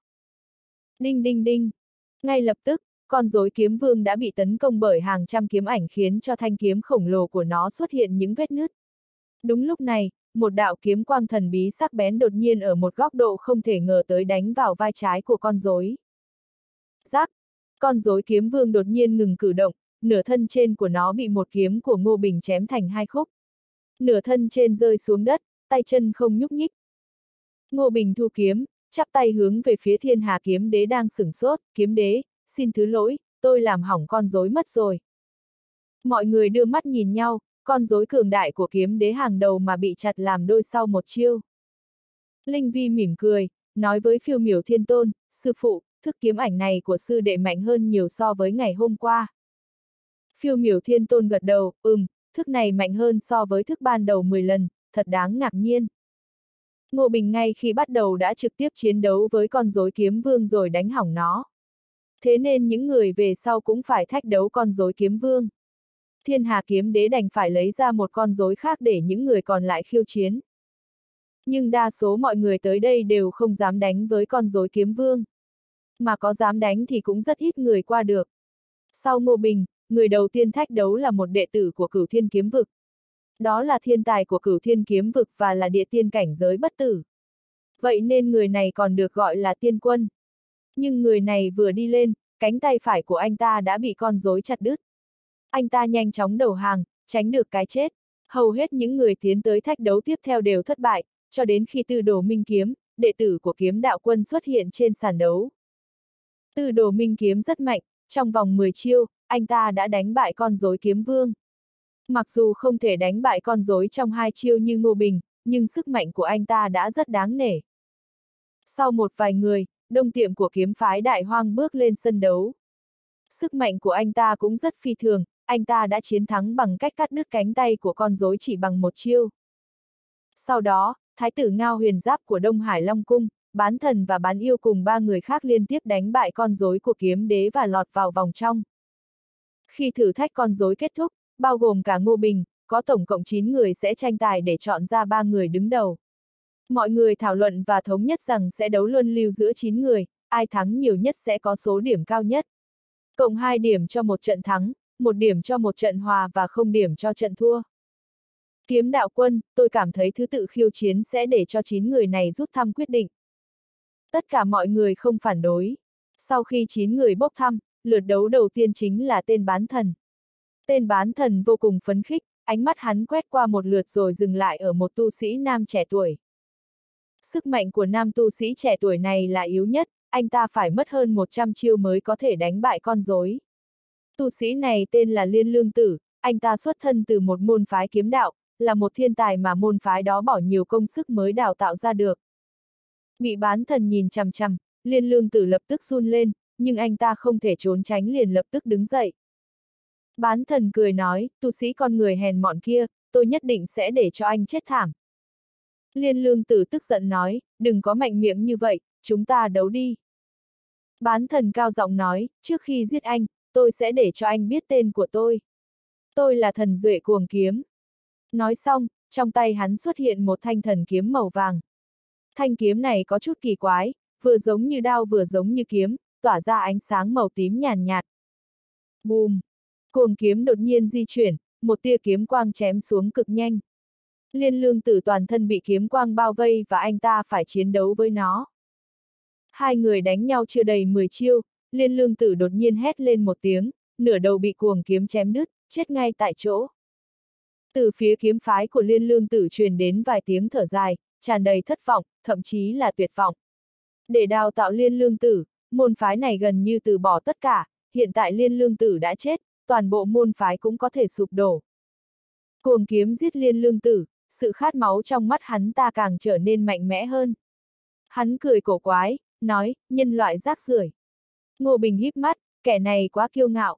Anh tiến lên một bước, bình tĩnh nói, cuồng kiếm, anh có dám giao đấu cùng tôi? Cuồng kiếm nheo mắt nhìn chằm chằm Ngô Bình, nếu muốn chết sớm thì tôi chiều. Ngô Bình cười lạnh một tiếng, cuồng kiếm, trong vòng ba chiêu, tôi có thể giết anh. Cuồng kiếm vẻ mặt khinh thường, ba chiêu. Nếu anh có thể tiếp tôi 30 chiêu thì tôi nhận thua. Cả hai đều rất mạnh, một người mang huyết thống của thần, một người là niềm tự hào của loài người, cả hai đều vô cùng tự tin. So với Ngô Bình, Đông Tiệm và những người khác càng ghét cuồng kiếm hơn. Đông Tiệm nói, anh Ngô, giết tên khốn này đi. Ngô Bình, yên tâm đi, hắn sẽ không sống sót mà rời khỏi đây được đâu. Sư môn của liên lương tử căng thẳng nhìn chằm chằm vào sân đấu, họ hy vọng rằng Ngô Bình có thể đánh bại cuồng kiếm và báo thù cho liên lương tử. Cuồng kiếm bề ngoài kiêu ngạo, nhưng thực ra trong lòng rất thận trọng. Hắn ta hai tay cầm kiếm, khắp người toát ra thần lực nồng đậm. Không gian xung quanh vặn vẹo, hắn đang tạo ra kết giới chiến đấu của riêng mình. Trong kết giới chiến đấu, sức mạnh của hắn ta có thể được phát huy tối đa còn kẻ địch của hắn sẽ gặp rất nhiều bất lợi. Ngô Bình liếc mắt đã nhìn thấu ý đồ của hắn, anh bình tĩnh nói, định múa dìu qua mắt thợ sao? Phá! Bùm! Kết giới của cuồng kiếm bị một lực đáng sợ nghiền nát và sụp đổ ngay lập tức. Sau đó, Ngô Bình thi triển thiên cực kiếm vực vây lấy cuồng kiếm. Ở trong thiên cực kiếm vực, cuồng kiếm cảm thấy rất khó chịu. Hắn gầm lên một tiếng, liều mạng giải phóng thần lực. Nhưng vô dụng, Ngô Bình đã phóng ra kiếm quang. Đồng thời, anh thi triển thiên địa kinh vĩ tầng thứ 9. Kiếm quang chém tới, kiếm ảnh lập lòe, cuồng kiếm còn không kịp phản ứng thì cơ thể đã bị cắt thành hàng ngàn mảnh. Thịt và máu rơi đầy xuống đất, một con chó lớn lao đến ăn sạch. Con chó này tên nhị hốn, luôn đi theo Ngô Bình, khi nhìn thấy thịt của bán thần, nó thèm đến mức chảy nước rãi. Tất cả mọi người đều kinh ngạc, một kiếm giết chết bán thần, thậm chí còn cho chó ăn thịt của bán thần. Quả là ác thú. Nhị hỗn ăn thịt cuồng kiếm, Ngô Bình bình thản nói, tôi đã giết cuồng kiếm, bây giờ là lúc tôi thách đấu mọi người. Ánh mắt của anh dừng lại ở tư đồ minh kiếm. Anh rất ghét kiếm đạo quân, khi đủ mạnh anh chắc chắn sẽ giết ông ta. Bây giờ tuy rằng không giết được kiếm đạo quân, nhưng anh có thể đánh bại đệ tử của ông ta.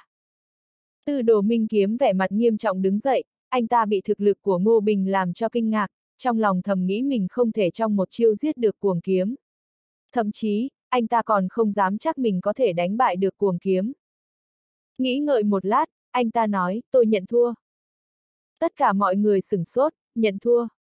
Kiếm đạo quân vẻ mặt vô cùng khó coi, nhưng không thể không thừa nhận đồ đệ của mình lựa chọn như vậy là sáng suốt. Một khi giao đấu, tư đồ minh kiếm có thể sẽ bị Ngô Bình chém chết.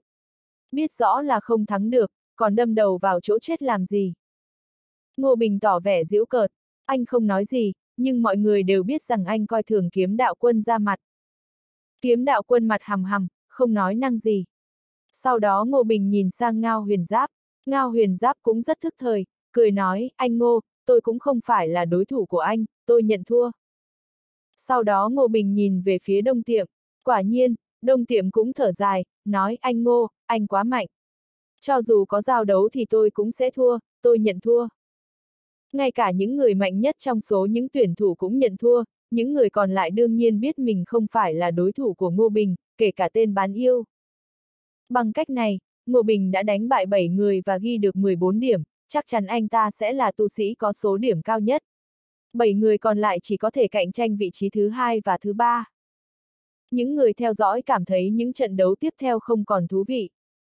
Tôi vốn tưởng rằng sẽ đánh 300 hiệp, không ngờ tới những người này đều bỏ cuộc. Anh thì biết cái gì? Thực lực chênh lệch quá lớn, không thắng được có thể bị giết, đương nhiên phải nhận thua. Nếu là tôi, tôi cũng sẽ nhận thua. Mọi người nói xem, Ngô Bình này mạnh đến đâu? Cảnh giới của anh ta cũng không cao hơn người khác, vì sao lại mạnh hơn nhiều như vậy?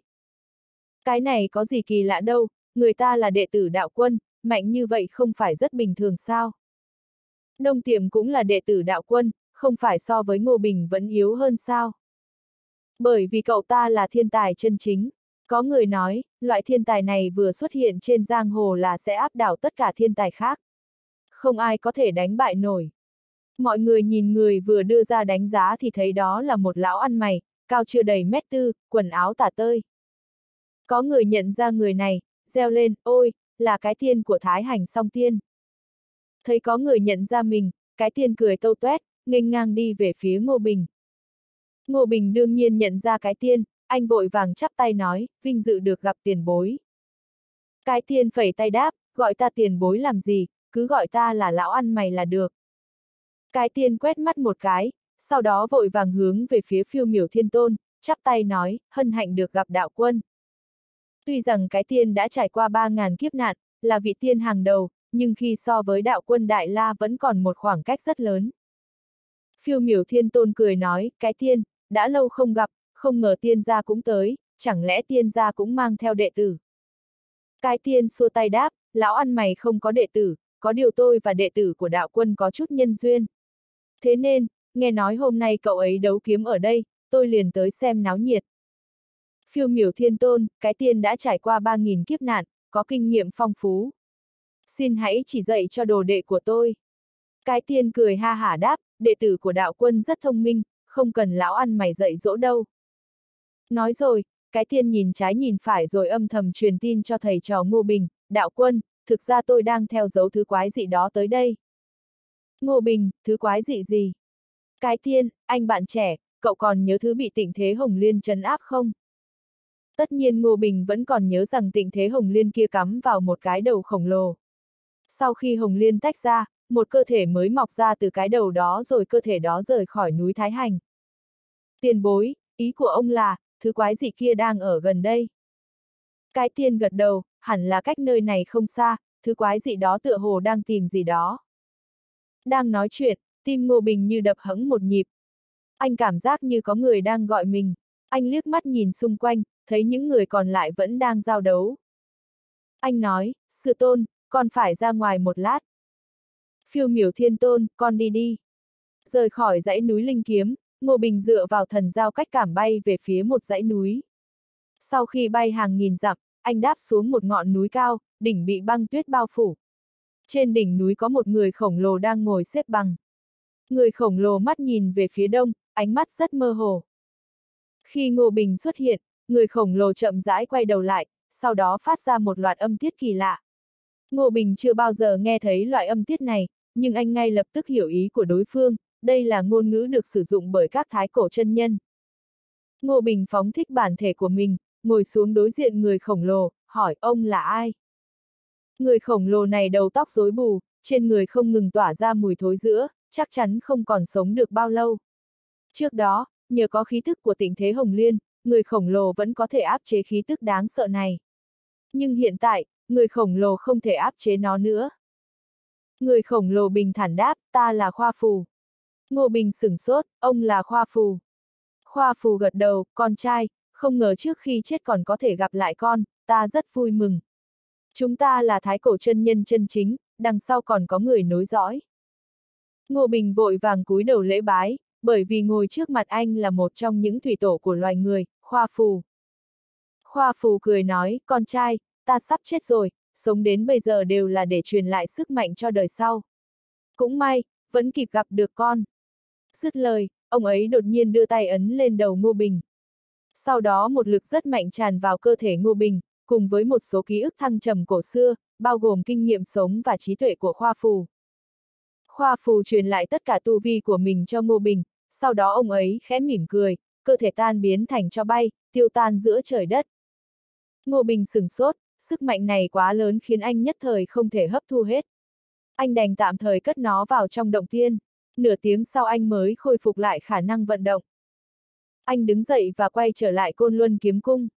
Lúc này, trận chiến đã kết thúc, đông tiệm giành được vị trí thứ hai và giết được bán yêu. Vị trí thứ ba là Ngao Huyền Giáp, từ đồ minh kiếm được kỳ vọng nhiều nhưng chỉ đứng ở vị trí thứ tư. Như vậy, Ngô Bình với tư cách là người giỏi nhất đã có được những món bảo vật tốt nhất và cả tam trùng long môn đan của kiếm cung. Đến đây, đại hội đan kiếm cũng kết thúc, kể từ đó, không ai trên thế giới không biết đến sức mạnh của chủ nhân Côn Luân kiếm cung. Vô số người ngưỡng mộ, muốn tới kiếm cung bái sư học nghệ. Đại hội đan kiếm kết thúc, các vị khách lục tục ra về. Cái tiên chưa rời đi, ông ta tò mò nhìn Ngô Bình, hỏi, người anh em, cơ thể cậu rõ ràng có sự biến hóa, chẳng lẽ cậu đã tìm được thứ quái gì kia? Ngô Bình gật đầu và nói, ông ấy là Khoa Phù, một trong những tổ tiên của loài người. Phiêu miểu đạo quân cũng kinh ngạc, là Khoa Phù. Ngô Bình, lúc đầu, Khoa Phù đã chiến đấu và giết chết thần tổ liệt dương. Bởi lẽ đó, ông ấy bị các vị thần nguyền rủa. Truyền thuyết Khoa Phù đuổi theo mặt trời thực chất chính là trận chiến giữa ông ấy và hần tổ liệt dương. Phiêu miểu đạo quân âm thầm truyền tin cho anh, Huyền Bình, có phải khoa phù cho con sức mạnh hay không? Ngô Bình, vâng thưa sư tôn, con đã có được toàn bộ sức mạnh cũng như trí tuệ của khoa phù. Tuy nhiên, có thể sẽ mất nhiều thời gian để hấp thụ và luyện hóa những sức mạnh này. Phiêu miểu đạo quân mừng rỡ, nói, được, chuyện này con không được nói cho ai khác ngoài vi sư. Ngô Bình, điều này con hiểu. Cái tiên thở dài, quả thực là khoa phù, sau đó ông ấy đã đi đâu? Ngô Bình, không có thịnh thế hồng liên, cơ thể của khoa phù bắt đầu thối giữa, ông ấy có lẽ sẽ không tồn tại được lâu nữa. Còn về chuyện được trao sức mạnh thì anh không nói với cái tiên. Cái tiên thở dài, đáng tiếc. Sau khi trò chuyện vài câu, cái tiên liền rời đi. Sau khi tiến cái tiên, phiêu miểu đạo quân nói, Huyền Bình, con trước tiên nên bế quan vài ngày để hiểu rõ sức mạnh mà khoa phù truyền lại cho con. Sức mạnh của khoa phù có thể so sánh với tổ tiên chúng ta. Cho dù con chỉ hấp thụ được một phần vạn thì cũng sẽ trở thành bất khả chiến bại. Ngô Bình, vâng, đệ tử lập tức bế quan. Khi đến cung điện nơi mình tu luyện, Ngô Bình thầm nghĩ rằng sức mạnh của khoa phù là vô tận, nếu anh sử dụng nó để tu luyện xích minh bản nguyên kinh thì sẽ như thế nào nhỉ? Nghĩ đến đây, anh lập tức thử nghiệm. Ý tưởng này vừa mới vừa xuất hiện, Linh Nhược đột nhiên xuất hiện trong đầu anh, cậu có được sức mạnh này, quả nhiên có ích khi tu luyện xích minh bản nguyên kinh. Rất có thể, cậu sẽ trở thành người đầu tiên có thể tu luyện xích minh bản nguyên kinh đến mức độ viên mãn. Ngô Bình nghe vậy rất vui mừng đáp, Linh Nhược, sau khi tôi lĩnh hội được xích minh bản nguyên kinh, sức mạnh của tôi sẽ hơn bây giờ rất nhiều phải không? Linh Nhược, đúng vậy. Sau khi luyện thành xích minh bản nguyên kinh, cậu sẽ mạnh hơn bây giờ gấp 10 lần. Hơn nữa, lấy xích minh bản nguyên kinh làm cơ sở, sau này còn có thể tu luyện các công pháp rất mạnh. Ngô Bình lập tức bình tĩnh lại và bắt đầu tu luyện xích minh bản nguyên kinh. Bộ kinh này tổng cộng có 10 cấp, cấp thứ nhất là tu luyện sức mạnh bản nguyên trong cơ thể. Anh tu luyện hơn một tiếng, cơ thể cảm giác như bị hút giống, toàn bộ sức mạnh đổ dồn về tim. Tất cả sức mạnh trong người Ngô Bình chảy về tim khiến cơ thể anh như yếu đi. Cũng may, năng lượng anh cất giữ trong động tiên được nhả ra hỗ trợ anh. Năng lượng mà khoa phù để lại đương nhiên không hề tầm thường, còn chất lượng hơn năng lượng mà Ngô Bình tự tu luyện nhiều. Khi nguồn năng lượng này đi vào lục phủ ngũ tạng, nó lập tức cải thiện phủ tạng của anh. Trên bề mặt tim của anh xuất hiện một loại bùa thần bí phát ra màu vàng lấp lánh. Mỗi lần tim đập cảm giác như càng có lực hơn. Thịch, tim anh đập mạnh một nhịp mà khiến cho cả côn luân kiếm cung khẽ rung lên một cái. Sau khi năng lượng đi vào phủ tạng liền luân chuyển khắp nơi theo xích minh bản nguyên kinh rồi dần dần kết thành một đại trận huyền ảo.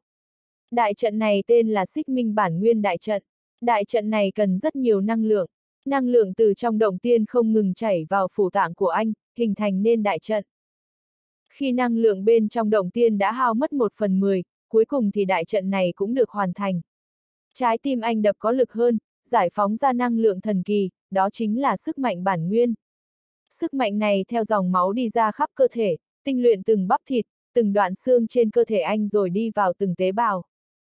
Quanh người Ngô Bình phát ra ánh sáng màu vàng khiến cơ thể anh vô cùng thoải mái. Đến đây, anh đã luyện thành cấp 1 của xích minh bản nguyên kinh, tạo ra sức mạnh bản nguyên trong cơ thể. Giọng linh nhược lại vang lên trong đầu anh, cấp 1 đã luyện thành, sẽ rất có ích cho việc tu luyện của cậu về sau. Ngô Bình tạm dừng tu luyện, để mặc cho sức mạnh bản nguyên đi ra khắp cơ thể khiến anh vô cùng thoải mái. Về sau, Ngô Bình nằm luôn xuống nghỉ ngơi. Anh chẳng suy nghĩ gì nên nhanh chóng chìm vào giấc ngủ. Khi tỉnh dậy, anh nhìn thấy nhị hỗn đang ngồi trước mặt nhìn anh chằm chằm. Ngô Bình hỏi, nhị hỗn, mày nhìn gì vậy? Nhị hỗn, sao cậu không đi soi gương đi? Ngô Bình đi tới chỗ cái gương thì phát hiện ra gương mặt, xương cốt, dáng vóc của mình đều có sự thay đổi rõ rệt. Những sự thay đổi này chắc chắn có liên quan đến sức mạnh bản nguyên. Sức mạnh bản nguyên này quả thực có tác dụng thần kỳ khiến người ta thay ra đổi thịt. Rửa mặt xong, anh đi tới gặp phiêu miểu đạo quân. Phiêu miểu đạo quân đáp, huyền bình, côn luân kiếm cung đã đi vào ổn định, vi sư cũng nên quay về rồi. Ngô Bình biết sư tôn không thể ở đây chấn giữ mãi. Anh đáp, sư tôn, sư tôn không ở thêm vài ngày sao? Phiêu miểu đạo quân, không đâu, Linh Vi sư tỷ con sẽ ở lại thêm một thời gian để giúp con quản lý kiếm cung. Con cũng không được lười biếng, phải chăm chỉ học tập. Ngô Bình, vâng. Phiêu miểu đạo quân, chiếc nhẫn ngọc mà sư tổ tặng con tranh thủ thời gian nghiên cứu đi nhé. Phiêu miểu đạo quân dặn dò thêm vài câu rồi liền từ biệt Ngô Bình. Sau khi tiễn sư tôn, Ngô Bình nói với Linh Vi, sư tỷ, đệ muốn ra ngoài mấy hôm. Mấy ngày này phải phiền sư tỷ rồi. Linh Vi, không sao, sư tỷ sẽ giúp cậu dạy dỗ các trưởng lão chấp sự, để sau này cậu không phải tự mình làm hết mọi việc. Ngô Bình mừng rỡ, vẫn là sư tỷ suy nghĩ thấu đáo nhất. Ngô Bình cảm thấy rất an tâm khi có Linh Vi trông coi kiếm cung. Anh yên tâm về nhà thăm hai đứa trẻ. Sau khi ở nhà với con hai ngày, anh dặn nhị hỗn ở lại trông nhà còn mình thì đến Long Kinh. Theo anh tính toán, mấy ngày nữa sẽ đến lúc Hoàng đế đích thân trinh phạt nước Đại Tây. Trước đó anh đã hứa với đại tướng quân Ngụy Nguyên sẽ đi cùng trong cuộc trinh phạt. Trở lại trại cấm quân, anh thấy những người lính đang tập luyện. Năm bộ công pháp anh truyền dạy rất hiệu quả. Sau khi hỏi thăm tình hình một chút, anh đến gặp Ngụy Nguyên. Nhìn thấy Ngô Bình trở về, Ngụy Nguyên rất vui mừng, Ngô Đại Nhân, cậu đã trở lại. Ngô Bình nghe trong giọng nói của ông ấy có chút buồn phiền, liền hỏi, tướng quân, đã xảy ra chuyện gì sao? Ngụy Nguyên khẽ thở dài, đáp, Hoàng thượng đột nhiên hủy bỏ cuộc trinh phạt, đã ba ngày nay không thiết chiều. Ngô Bình ngạc nhiên hỏi, việc này rất không bình thường sao? Ngụy Nguyên, đúng vậy, tôi nghi ngờ rằng nước Đại Tây đã ra tay. Ngô Bình, người của nước Đại Tây ra tay ngay trong cung sao? Ngụy Nguyên, hôm qua tôi mới biết tin Hoàng đế trọng thương, đã về tiên giới, đang nhờ Đại Thiên Tôn giúp Hoàng đế trị thương. Ngô Bình rất kinh ngạc, ai có thể đả thương Hoàng đế kia chứ? Ngụy Nguyên, đúng như cậu dự đoán, Vương quốc Đại Tây đã hiểm một lời nguyền khủng khiếp. Cho dù Đại Thiên Tôn có cứu Hoàng đế thì Hoàng đế cũng có thể phải nghỉ ngơi một năm rưỡi trước khi quay trở lại. Lúc này, Ngô Bình cuối cùng cũng hiểu được Ngụy Nguyên đang lo lắng điều gì. Hoàng đế của nước Long chết hay bị thương không quan trọng, điều quan trọng là Hoàng đế không ở đây, ai sẽ quản lý nước Long. Tuy nhiên, anh và Ngụy Nguyên không quá thân thiết, vì vậy anh không nói gì nhiều, chỉ trò chuyện vài câu rồi đi. Sau khi đi vòng quanh trại một lần nữa, Ngô Bình quyết định đi tìm Chu Nguyên Thông. Bởi vì Đinh Mặc vừa mới dự đám cưới của Ngô Bình xong, lúc này vẫn đang ở chỗ Chu Nguyên Thông. Ngô Bình vừa đi tới, Chu Nguyên Thông lập tức biết anh đang suy nghĩ điều gì nên cười nói, chú em, chú biết việc Hoàng đế bị thương rồi sao? Ngô Bình gật đầu, anh, em tới chính là vì chuyện này. Chu Nguyên Thông gật đầu, để anh cho người chuẩn bị đồ ăn và rượu, chúng ta vừa uống vừa nói chuyện. Sau khi bàn ăn được bày xong, Ngô Bình lấy rượu thuốc anh ủ ra rót cho ba người. Sau vài ly rượu, Chu Nguyên Thông nói, hoàng đế của nước Long bị nguyền rủa và bị thương nặng, sẽ không thể quay lại trong thời gian ngắn. Ngô Bình, hoàng đế không trở về, triều đình đại sự ai sẽ quyết định. Chu Nguyên Thông, hoàng đế trước khi rời đi đã hạ lệnh thái tử trông coi việc nước, còn phái năm đại thần hỗ trợ thái tử. Năm đại thần này đều xuất thân từ các thế lực khác nhau. Ngô Bình, đại ca, chuyện này có ảnh hưởng đến anh không? Chu Nguyên Thông, anh là người của Đại Thiên Tôn, đối với anh thì không mấy ảnh hưởng. Có điều, chú là tổng thủ lĩnh kiếm tổng đốc, nếu như thái tử không ưa chú thì sẽ khó khăn cho chú. Ngô Bình, chức tổng đốc chỉ là hư danh, còn chức tổng thủ lĩnh là do hoàng đế ban cho nên em không lo lắng về điều đó. Chu Nguyên Thông, hai ta không lo lắng, nhưng có rất nhiều người nên lo lắng. Nếu không ngoài dự đoán, trong chiều sẽ sớm xảy ra đại chiến, dù sao các hoàng tử cũng không phải dạng vừa. Các đại thần cũng sẽ nhân cơ hội tăng cường sức mạnh của mình. Mà nếu xảy ra chiến loạn, nhất định sẽ có thương vong. Cho dù chúng ta không ở trong vòng xoáy đó, cũng khó tránh khỏi bị ảnh hưởng. Ninh mặc, nghĩ những chuyện này cũng vô ích. Anh cả, chú ba, hai người còn nhớ nơi em nhắc tới không? Ngô Bình, anh hai đang nói về biển tinh túc ở đại lục Hồng Hoang sao? Ninh mặc gật đầu, chú ba, nếu có thời gian, chúng ta cùng nhau đi tới đó đi.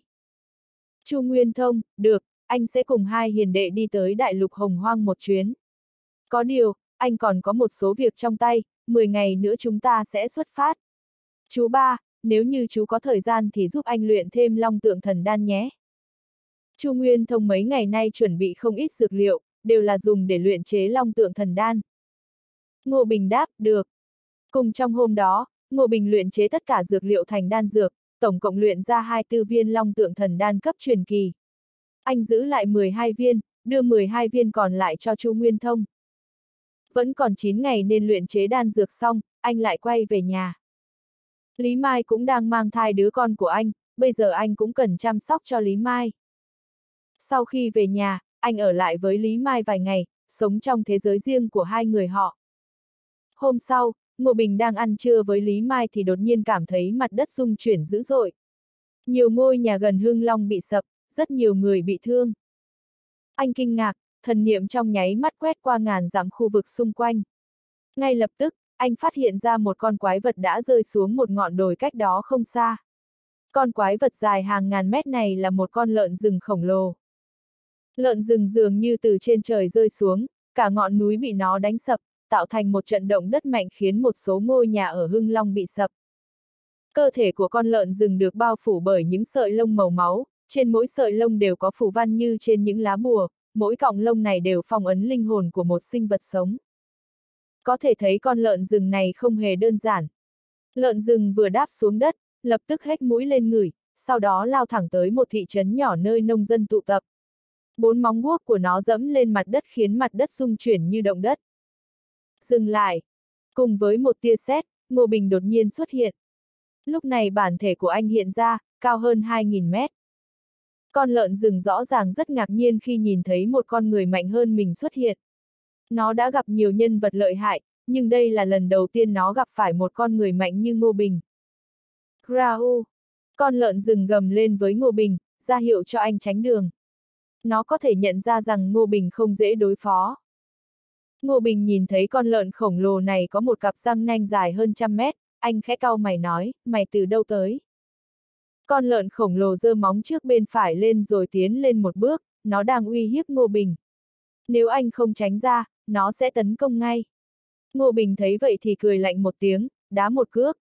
Anh so với con lợn rừng to lớn này còn cao hơn khiến cú đá của anh vô cùng uy lực. Pa hu! Lợn rừng như bị một ngọn núi bay bằng sắt kéo đi, lập tức bay qua mấy chục dặm, lăn qua lăn lại trên mặt đất, va vào không biết bao nhiêu ngọn núi mới dừng lại. Bùm! Ngô Bình từ trên trời giáng xuống, thần kiếm trong tay chạm vào cổ heo rừng. Chỉ cần anh nhẹ nhàng ra tay, con lợn rừng khổng lồ sẽ xong đời. Lợn rừng lập tức kinh hãi, vội vàng nói, cầu xin thượng tiên tha mạng. Ngô Bình cười lạnh, mày biết nói tiếng người sao? Vừa rồi tại sao không trả lời? Lợn rừng vội vàng nói, tiểu yêu không biết năng lực của thượng tiên, tiểu yêu đã quá tự phụ. Nghe vậy, Ngô Bình đoán con lợn rừng này cũng không phải không được ai dạy dỗ, anh liền hỏi chủ nhân của mày là ai? Lợn rừng trừng to mắt, tiểu yêu hiện tại không có chủ nhân. Ngô Bình tò mò hỏi, hiện tại không có chủ nhân. Thế còn chủ nhân trước đó thì sao? Lợn rừng trầm mặc vài giây rồi mới nói, tiểu yêu ăn mất chủ nhân cũ rồi. Ngô Bình kinh ngạc, ăn rồi. Anh bực dọc đá con lợn rừng một cái khiến nó đau đớn hét lên, thượng tiên bất giận. Ngô Bình cười lạnh một tiếng, ngay cả chủ nhân mình cũng ăn, mày được lắm. Ngô Bình huyết sáo một tiếng, nhị hỗn lập tức chạy tới. Nhìn thấy con dã thú, nhị hỗn lập tức chảy nước miếng, kêu to, cho tôi ăn, cho tôi ăn. Cảm nhận được khí tức đáng sợ của nhị hốn, con lợn rừng sợ hãi run lên, thượng tiên, chủ cũ của tiểu yêu đã giết người nhà của tôi. Tôi ăn thịt hắn để báo thù. Ngô Bình, chị yêu, mày ăn thịt không ít người, tưởng tao sẽ tin mày nói sao. Chư yêu vội vàng nói, tiểu yêu quả thực ăn thịt người, nhưng quái vật ăn thịt người không phải là bình thường sao. Câu này khiến Ngô Bình không trả lời được, quả nhiên yêu quái làm sao không ăn thịt người cho được. Anh cười lạnh, thịt của mày tràn đầy tinh khí, một lát nữa tao sẽ biến mày thành heo quay. Chư yêu, thượng tiên, hai ta không có ân oán gì, thượng tiên vì sao lại muốn giết tôi? Ngô bội, yêu quái ăn người, người ăn yêu quái, đó là chuyện đương nhiên. Chư yêu đã nhận ra Ngô Bình ghét nó vì ăn thịt người nên nói, thượng tiên, tiểu yêu có một số năng lực, xin hãy để tôi đi. Tôi nguyện ý phục vụ thượng tiên. Ngô Bình tỏ vẻ ghét bỏ, mày chỉ là một con lợn rừng, tao cần mày làm gì? Nói xong, anh chuẩn bị cho nhị hỗn ăn thịt heo. Chư yêu kinh hãi, gào to, thượng tiên, tôi sẽ tiết lộ tung tích của một món bảo vật, xin hãy tha mạng cho tôi được không? Ngô Bình trở nên hứng thú, bảo vật, nói nghe đi. Chư yêu, tiểu yêu rơi xuống đây thực ra là do bị một vị tiên nữ đánh ngã. Vị tiên đó có một món bảo bối, hai chúng tôi đã rằng co một lúc. Lúc sắp bị tôi ăn thịt thì vị tiên đó dùng chính pháp khí đó, đánh tôi rơi xuống đây. Ngô Bình, một vị tiên nữ. Còn món pháp bảo kia là gì? Chư yêu, một hạt giống. Hạt giống đó không thể xem thường. Nó là một trong những bảo vật từ trong mắt hỗn độn phun ra, hơn nữa nó còn chưa bao giờ nảy mầm. Vì nó, tôi đã ở lại huyết yêu giới canh giữ hơn 500 năm rồi. Nhưng đến khi nó sắp nảy mầm thì bị người phụ nữ kia đến cướp. Tôi ghét cô ta đến mức đã chiến đấu với cô ta ba ngày ba đêm. Cuối cùng, cô ta dùng chính pháp bảo đó phế mất 99 phần công lực của tôi rồi một trưởng đánh tôi bay khỏi huyết yêu giới, đáp xuống nơi này. Ngô Bình sửng sốt, phế bỏ 99 phần công lực. Nói cách khác, con lợn yêu này trước đây mạnh hơn rất nhiều so với bây giờ. Anh hỏi, huyết yêu giới là nơi nào? Chư yêu đáp huyết yêu giới cũng giống như đại thế giới linh đài, nhưng người khai mở ra nó là ngụy thủy yêu đế. Sau này, ngụy thủy yêu đế bị thánh nhân giết, huyết yêu giới trở thành nơi nương náu của chúng yêu. Mười giọt máu của ngụy thủy yêu đế có sự sống và trở thành 10 con huyết yêu, thống trị huyết yêu giới. Ngô Bình ngạc nhiên hỏi, mày biết cách vào huyết yêu giới sao? Chư yêu, tiểu yêu biết. Nhị hỗn trợn mắt, chúng ta vào đó đi, 10 con huyết yêu nhất định rất ngon. Ngô Bình phớt lờ nhị hỗn và tiếp tục hỏi, 10 con huyết yêu đó có mạnh không? Chư yêu, tiểu yêu không dám trực tiếp đối đầu với chúng. Còn nếu thật sự muốn đánh, tôi cũng không chịu nổi một chiêu của huyết yêu. Ngô Bình, tiên nữ kia là ai? Cô ta vẫn còn ở huyết yêu giới sao? Chư yêu, cô ta bị ta đả thương, huyết yêu đã khóa chặt khí tức của cô ta nên tuyệt đối không trốn được khỏi huyết yêu giới. Mày có biết tiên nữ đó là ai không? Audio điện tử võ tấn bền. Hết tập 90